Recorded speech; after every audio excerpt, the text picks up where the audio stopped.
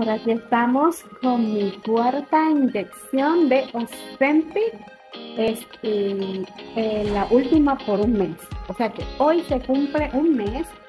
Eh, por aquí estamos para darle el update. Pues comencé con los números míos de la azúcar muy elevados de 213 que no me bajaba y hoy día está 112, 115, 130, pero que siempre bajita, bajita, bajita. El peso he bajado 10 libras en este mes. O sea que esta es la cuarta.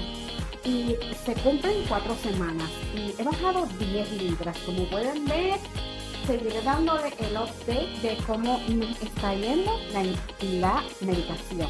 Los síntomas han disminuido, o sea, los efectos secundarios han disminuido un poco pero no del todo. O sea, los tengo, pero no tan severo como al principio cuando comencé. Seguiré dándole mis updates hasta que la doctora siga en, eh, recomendándome, ¿verdad? Y recetándome esta medicación.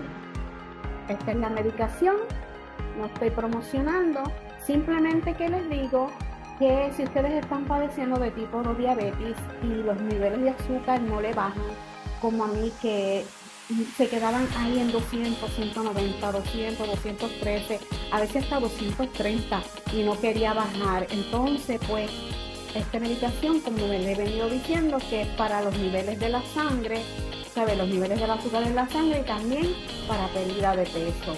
O sea que es un plus. Entonces, pues por aquí, ¿verdad? Esta es la medicación. Hablen con sus médicos y pregúntenle por Ozempic si los números de la azúcar no le bajan a mí me están ya regularizando los números, o sea que de 213, como les dije, ya ha bajado a 112, que es muy bueno. Y peso, he perdido 10 libras en un mes. Y pues, eh, por aquí les estaré dando los updates y gracias por ver mis videos. Hasta la próxima. Chao.